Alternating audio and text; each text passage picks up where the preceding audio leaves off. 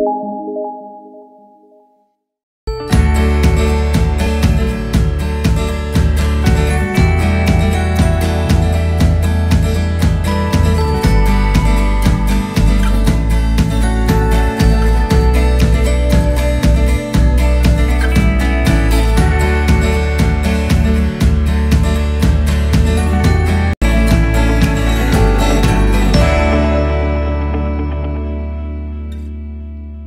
Hedda is a very idealistic type of character.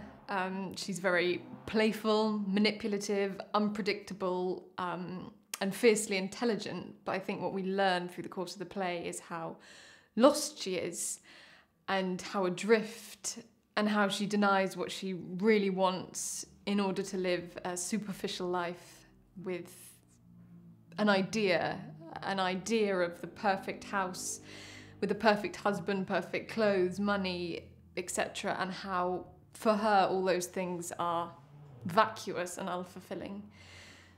So she's a very tragic character.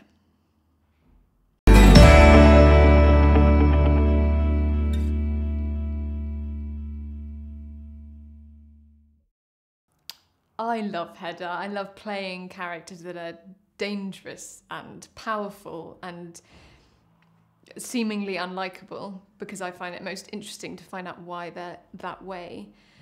And I like her a lot because I can understand how trapped she feels by society and convention and how she wishes she could break free from it all, but at the same time has no way as a woman to be able to do that. And I think that's still very relevant today.